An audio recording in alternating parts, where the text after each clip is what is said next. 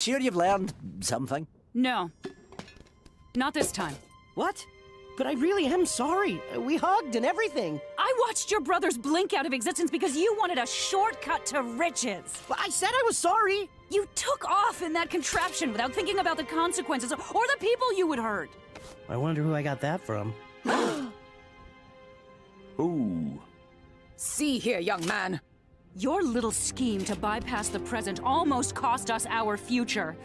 This all stops now. You are grounded. No schemes, no treasures, and Louie Incorporated is done. Understand? Look, uh, let me clean up, okay? But Uncle Scrooge, Mrs. B, come on! To your room.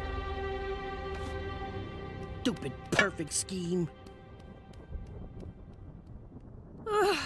That was hard.